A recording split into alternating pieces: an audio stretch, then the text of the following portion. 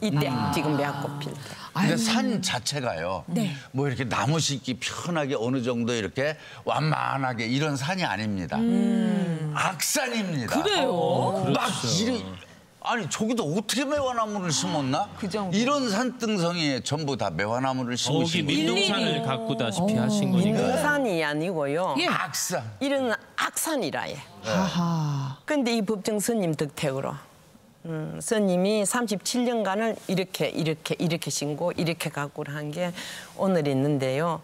이런 산에 오르면서 나는 삼총사.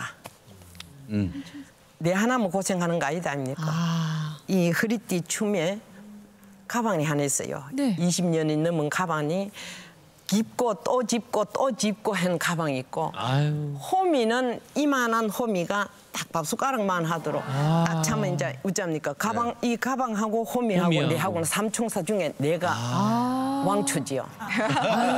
저는 삼총사라 그래서 한 세 분쯤 뒤에 계신 줄 알았어요.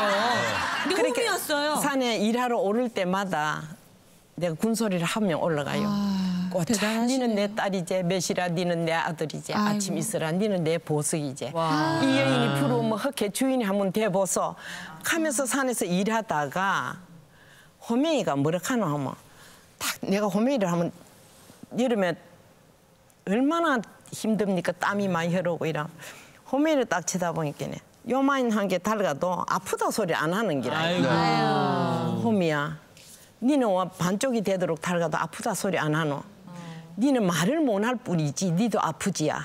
나도 이 손발이 아픈데.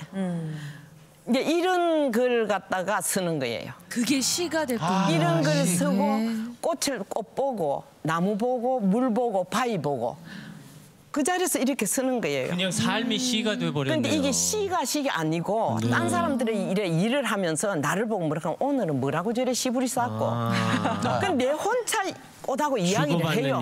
얘기. 이야기를 하면서 이렇게. 그럼 선생님